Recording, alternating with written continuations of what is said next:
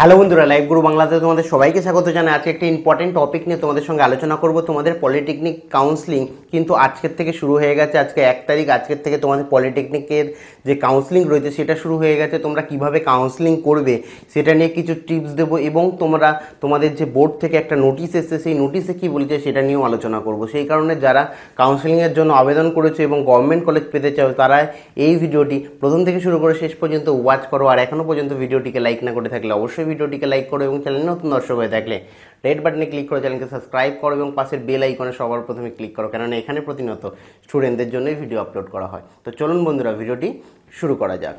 দেখো, সবার প্রথমে তোমাদের পলিটেকনিক কাউন্সিলিংয়ের কথা যদি বলি, তোমরা জানো এই বছর প্রচুর সংখ্যক স্টুডেন্ট কিন্তু তোমাদের পলিটেকনিকে এর জন্য আবেদন করেছে এবং অনেকেরই র্যাঙ্ক এসছে। সেই র্যাঙ্ক অনুযায়ী তোমাদের কি হচ্ছে কাউন্সিলিং করতে হবে। এখানে কাউন্সিলিং করার জন্য তোমাদের কি হচ্ছে কি করতে হয়? তোমাদের যে কলেজ নির্বাচন করতে হয় এবং প্রত্যেকেই কি করো? গভর্নমেন্ট কলেজ করার জন্য বিভিন্ন ভুল করে থাকো।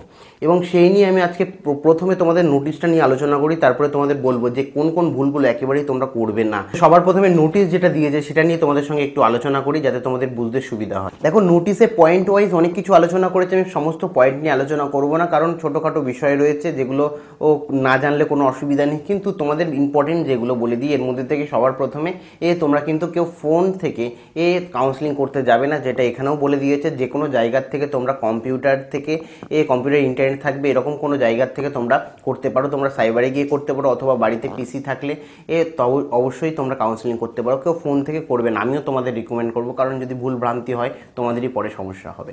তো তারপরে এখানে দেখো এখানে তোমাদের চয়েসে খুব ইম্পর্টেন্ট চয়েসের যে পয়েন্টটা রয়েছে চয়েসে এখানে দিয়ে দিয়েছে যে তোমাদের ব্রাঞ্চ কালেকশনটা খুব ভালো করে করতে হবে।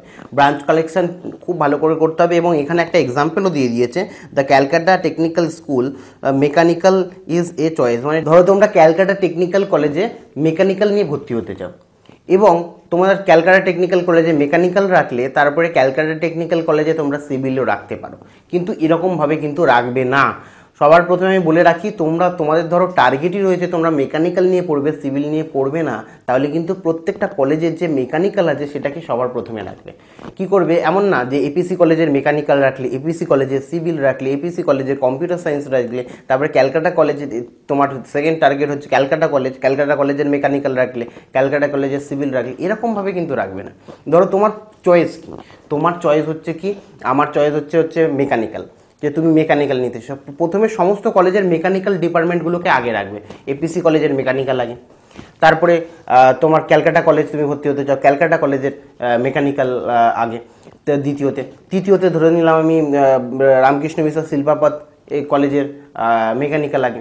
এরপরে তুমি চয়েস তোমার সেকেন্ড চয়েস যদি মেকানিক্যাল না পাও, সেক্ষেত্রে তোমার সেকেন্ড চয়েস থাকবে ধরো সিভিল তো প্রত্যেকটা, আবার তারপরে চলে আসলো, এই তিনটে রাখলে তিনটে কলেজে তুমি মেকানিক্যাল পেতে চাও তোমার র্যাঙ্ক অনুযায়ী আরও তুমি সিভিলেও কিছু কলেজ দিতে চাও সেক্ষেত্রে তোমার সেকেন্ড চয়েস সেকেন্ড চয়েস তোমার সিভিল যেহেতু তোমার টার্গেট মেকানিক্যাল সেক্ষেত্রে তুমি দিলে যে তোমার, আবার এপিসি কলেজ তোমার হচ্ছে সিভিল তারপরে আবার তুমি দিলে যে তোমার ক্যালকাটা কলেজ সিভিল তারপরে তুমি আবার দিলে যে রামকৃষ্ণ মিশ্র শিল্প সিভিল তারপরে ধর তোমার কম্পিউটার সায়েন্স চয়েস মানে তোমার যে ডিপার্টমেন্টটা সবার প্রথমে চয়েস রয়েছে বা যে ডিপার্টমেন্টটা তুমি পেতে চাও, সবার প্রথমে কিন্তু সেই ডিপার্টমেন্টটাকে রাখবে। তোমার যে কলেজে ভর্তি হতে চাও, সেই কলেজে সেই ডিপার্টমেন্টটাকে রাখবে। এবং তোমার ধরো কম্পিউটার সায়েন্স তোমার নিয়েই পড়তে চাও সেক্ষেত্রে সবকটা কলেজের কম্পিউটার সায়েন্স যেগুলো, যে কলেজগুলো তুমি ভর্তি হতে চাও সেই কলেজগুলো কম্পিউটার সায়েন্সের ডিপার্টমেন্ট চুজ করে সেই কলেজগুলোকে সবার প্রথমে রাখবে। এটাই কিন্তু করবে, এমন করবে না যে প্রত্যেকটা কলেজের এর মানে ধরো তুমি এপিসি কলেজে ভর্তি হতে চাও, তোমার টার্গেটই এপিসি কলেজ যে কোনো ফিল্ড নিয়ে ভর্তি হতে চাও, এরকম তো হতে পারে না। তোমাদের একটা নির্দিষ্ট টার্গেট রয়েছে যে আমি মেকানিক্যাল নিয়ে পড়ব না সিভিল নিয়ে পড়ব না কম্পিউটার নিয়ে পড়ব না আইটি নিয়ে পড়ব, না ফুড প্রসেসিং নিয়ে পড়ব, প্রত্যেকের একটা একটা চয়েস রয়েছে। সেই চয়েস অনুযায়ী কিন্তু তোমরা কলেজগুলোকে সবার প্রথমে রাখবে। যে যে কলেজগুলো তোমার ভালো লাগে, সেই কলেজগুলোকে সবার প্রথমে রাখবে। যে কলেজে ভর্তি হতে চাও এবং সেই কলেজের যে ডিপার্টমেন্ট তোমার টার্গেট সেই কলেজ কলেজগুলোর ডিপার্টমেন্টগুলোকে কিন্তু, সেই ডিপার্টমেন্টটাকে কিন্তু সবার প্রথমে রাখবে। আশা করি তোমাদের ক্লিয়ার হয়ে গেছে যে তোমরা যদি কম্পিউটার চাও বা ফুড প্রসেসিং চাও, তাহলে সবার প্রথমে ফুড প্রসেসিংয়ের যে ডিপার্টমেন্টগুলো আছে, সেই ডিপার্টমেন্টগুলো রাখবে। কলেজ এখানে ব্যাপার না কলেজ তোমরা যেটা চাও সেটা রাখতে পারো। এবার অনেকের কোশ্চেন রয়েছে যে, আমরা কি কটা কলেজ সিলেক্ট করতে পারব বা কটা ডিপার্টমেন্ট এখানে তোমরা যদি চাও যে পাঁচশো আশিটা ডিপার্টমেন্ট সিলেক্ট করবে, তাও করতে পারো। কোনো অসুবিধা নেই, কিন্তু তোমার র্যাঙ্ক অনুযায়ী, তোমার যে টার্গেট অনুযায়ী তুমি কাউন্সেলিং করতে পারো তোমার র্যাঙ্ক যদি খুব বেশি থাকে, তাহলে বেশি কলেজ দেবে। তোমার র্যাঙ্ক যদি খুব কম থাকে, সেক্ষেত্রে কম কলেজ দেবে। এবং তোমাদের একটা ডিটেলসে ভিডিও করেছিলাম যে যখনই তোমরা কাউন্সেলিং করবে, তখন কার্জারটা নিয়ে গেলে তোমরা দেখতে পারবে কত র্যাঙ্কে ফার্স্ট কাউন্সেলিংয়ে কোন কলেজ দিচ্ছে। কোন কলেজে তো, কোন কলেজ দিচ্ছে, সেই অনুযায়ী তুমি দেবে। তো আগের ভিডিওটা না দেখে থাকলে আই বাটনে লিঙ্ক দিয়ে দিচ্ছে, সেখান থেকে দেখে নেবে আরও ডিটেলসে তুমি জানতে পারবে। এখানে নোটিশ অনুযায়ী আমি তোমাদেরকে বলছি। এরপরে এখানে বলে দিয়েছে আরও এরকম বলে দিয়েছে, যেরকম বললাম ফার্স্ট ইয়ারের জন্য তোমাদের সিট চয়েস রয়েছে হচ্ছে পাঁচশো আশিটা চয়েস রয়েছে এবং সেকেন্ড ইয়ারের জন্যও কী হচ্ছে চয়েস রয়েছে হচ্ছে পাঁচশোটা।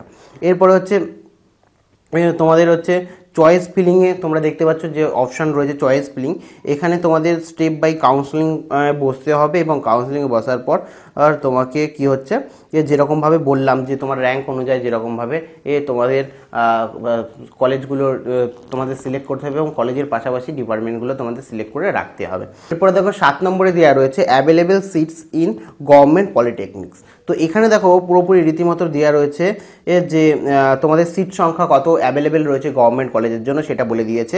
ফার্স্ট ইয়ারের স্টুডেন্টের জন্য এখানে দেখো তেরোশোটা কোর্স রয়েছে এবং সেকেন্ড ইয়ারের স্টুডেন্টের জন্য তেরোশোটা কোর্স রয়েছে। এবং তারপরে তোমাদের এখানে মেনশন করে দিয়েছে এসসির জন্য বাইশ পার্সেন্ট রয়েছে এসটির জন্য সিক্স পার্সেন্ট রয়েছে এবং তোমাদের পিসির জন্য ফাইভ পার্সেন্ট রয়েছে এবং এল কিউ ক্যাটাগরির জন্য টু পার্সেন্ট রয়েছে। এবং OBC OBC A OBC B এর জন্য কিছু সংখ্যক, কী হচ্ছে গভর্নমেন্টের গভর্নমেন্ট কলেজের জন্য কী হচ্ছে সিট রিজার্ভ রয়েছে।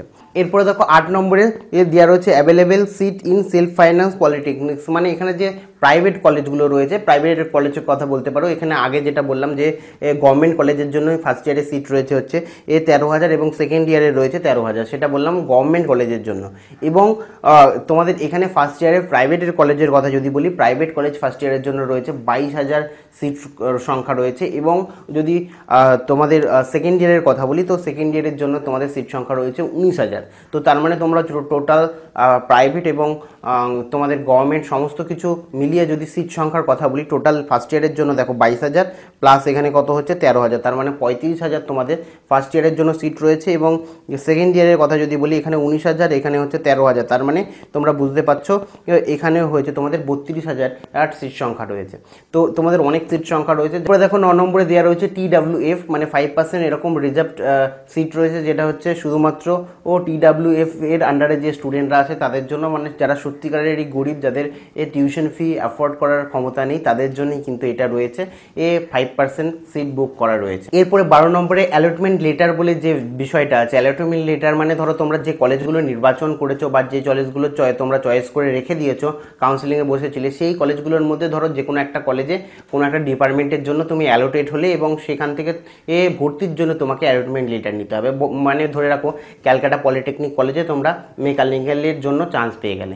এবং ওখানে দেখতে পাচ্ছ তোমাদের যে সিট রয়েছে, সেই সিটে এর পাশে একটা অ্যালটমেন্ট লেটার বলে অপশান থাকবে। সেই অ্যালটমেন্ট লেটারটাকে তোমাকে ডাউনলোড করে প্রিন্ট আউট করে কলেজে গিয়ে দেখাতে হবে যে তুমি কাউন্সিলিংয়ের মাধ্যমে তুমি চান্স পেয়েছ, তারপরে তোমাকে ভর্তি নেবে।